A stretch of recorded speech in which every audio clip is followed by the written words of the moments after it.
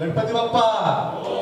मंगलमूर्ती त्यानंतर शिवाजी महाराज बाहेर आरोपण करतील आपण गोष्ट द्यायचे प्रौढ प्रताप पुरंदर सिंहासनाधीश्वर लोक ब्राह्मण प्रतिपालक राजाधिराज महाराज शिवछत्रपती शिवाजी महाराज की जय भवानी. उद्घाटन सोहळा प्रसंगी सन्मान्य श्री अर्जुनजी मेघे हे यानंतर विनंती करतो की आपण या थोडं सर पुढे त्यांना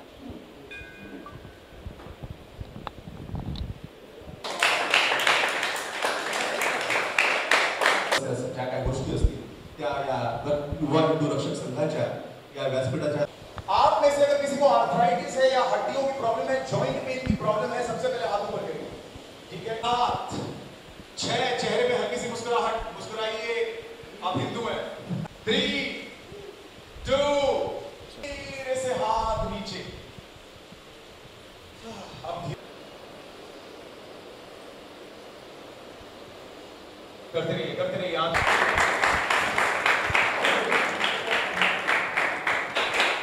जेम्स नागर करतो की अर्जुन विश्वासी सहकारी सर क्या कहना चाहेंगे? युवा हिंदू रक्षक संघ का लोगों का अनावरण हुआ। क्या मकसद के साथ क्या उद्देश्य के साथ इस संघ की स्थापना की है क्या बताना चाहेंगे?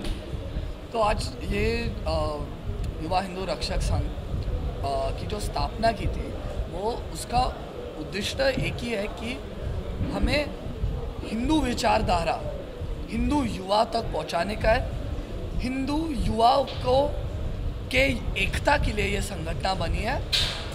और मैं वापस बोलूँगा कि हम कोई भी दूसरे जाति या धर्म के खिलाफ नहीं है। बस जो हमारा हिंदू धर्म है, उसको हमें बड़ा करना है और पूरे जग भर में लेके जाना है। और सब हिंदू सब युवा हिंदू है। मैं चाहता हूँ और हमारी पूरी संगठना चाहती है कि हर हिंदू युवा गर्व से बोले कि मैं हिंदू। तो क्या क्या प्लान है किस तरह कुछ प्लानिंग लेकर चल रहे हैं किस तरह से युवाओं को बदलना चाहते हो कुछ बताना चाहेंगे? यस हमारे पास एक स्कोप ऑफ़ वर्क का पैम्फलेट भी है। मुझे मैं आपके आपको वो भी देता हूँ आपको बता भी दूँगा कि हमारा प्लान है कि हम बाई वीकली योगा क्लासेस के साथ शुरू करेंगे, जहाँ पे शिव जिनकी कंपनी है the true yoga with Shiv, उनके माध्यम से हम योगा क्लासेस करेंगे। उनके साथ वो योगा के साथ हिंदू शास्त्रों और वेद के बारे में प्रवचन भी देंगे। उसके साथ हर महीने हम कोई ना कोई धार्मिक स्थल पे जाएँगे वो स्थल की ऐतिहासिक महत्वता के बारे में हम सीखेंगे और वहाँ पे दर्शन भी करेंगे। उसके बदले में उसके बावजूद हम और ऐसे काम करेंगे जैसे कि इंटेलेक्चुअल्स को बुलाएँगे वो भी हमें लेक्चर्स देंगे प्रवचन देंगे इतिहास के बारे में प्रवचन देंगे। कैसे आज अ, भारत में भारत और हिंदुओं की परिस्थिति जो भारत में है, वो इस इस पे कैसे पहुँची? भारत में हिंदू एक साथ क्यों नहीं है? उसके बारे में भी हमें जानकारी इंटेलेक्चुअल से मिलेगी, जो एक्सपर्ट्स है ये फ़ील्ड में, जो हिस्टोरियंस है, उनके साथ हम टाइप करके और प्रवचन करेंगे। मंदिरों के बाहर हम जाके आरतियों की बुक्स युवाओं को देंगे तो वो समझ सकेंगे। और ऐसे अनेक उपक्रम करेंगे, जहाँ पे हिंदू विचारधारा युवा के जो हिंदू युवा है उनके तक, उन तक पहुँचे और ऐसे पहुँचे जहाँ पे वो रिलेट कर सकते हैं। क्योंकि जो हिंदू विचारधारा है, वो डेली लाइफ में आपकी मदद कर सकती है और वो ही हमें लोगों को और हिंदू युवाओं तक पहुँचाना। वो प्रयास ये है कि जो हिंदू बांधव हैं मेरे बंधु हैं जो मेरे साधक हैं जो लोग हैं उनको समझाना है अपने धर्म के बारे में। प्रयास ये नहीं है कि किसी के साथ लड़ना है या किसी धर्म के खिलाफ हैं हम। प्रयास ये है कि हमें उनको समझाना है कि हिंदू ये संस्कृति कितनी लंबी है कितनी गहरी और कितनी बड़ी है। और जब वो उसे सीखेंगे जानेंगे तो मुझे नहीं लगता इसको जानने के बाद कोई प्रयास करेगा इसको इसका निरादर करने का या इसको ख़त्म करने का। सर आपसे जानना चाहेंगे ऐसे कई संस्थाएँ संगठन है युवाओं को जोड़ती तो है लेकिन योग के बारे में, अध्यात्म के बारे में बहुत कम बताती है। तो क्या कुछ कितनी बड़ी ज़िम्मेदारी मानते हैं आप? तो देखिए, जैसा मैंने कहा आपसे कि हमारे पास बाबा रामदेव खुद हैं जिन्होंने क्रांति लाई, योग की क्रांति लेकर आई। और उसके लिए मैं उनका शुक्रगुजार हूँ। लेकिन कहने की बात यही है कि एक व्यक्ति से काम नहीं होने वाला और एक संगठना से काम नहीं होने वाला। बहुत सारी संगठनाएँ, जैसे कि कहने का मतलब है, मान लीजिए बजरंग दल है आपके पास आपके पास हिंदू वाहिनी आपके पास आरएसएस है। लेकिन जैसा मैंने कहा, भगवान राम के पास अगर बजरंग बली थे तो भगवान राम खुद भी थे।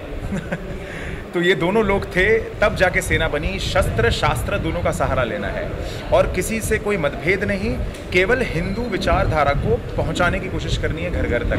तो आप प्रयास करिए, हम भी प्रयास करेंगे, आरएसएस प्रयास कर रही है, वाहिनी प्रयास कर रही है, और ये प्रयास चलता रहेगा निरंतर, जितने लोग जुड़ते जाएँगे। जो अपने धर्म का और अपने संस्कृति के जो मूल है मूल है, उसके उसके साथ जो संपर्क है वो युवाओं का हो नहीं रहा। उसके बारे में बहुत कम जानकारी है युवाओं को। तो वही जागरूकता हम लोग युवाओं में फैलाने की कोशिश करेंगे इस संस्था के मार्फत से।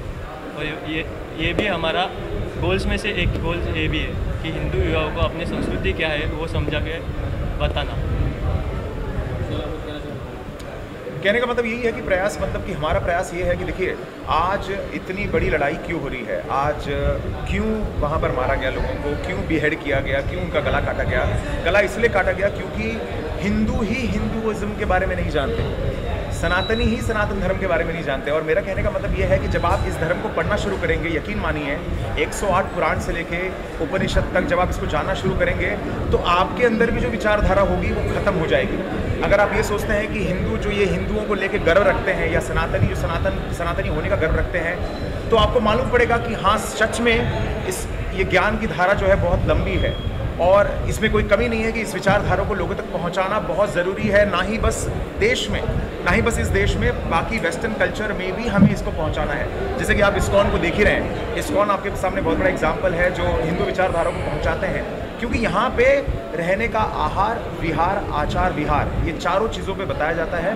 तो ये मेरे ख्याल से केवल देश तक सीमित ना हो, ये लोगों तक पहुँचे। ये प्रयास है।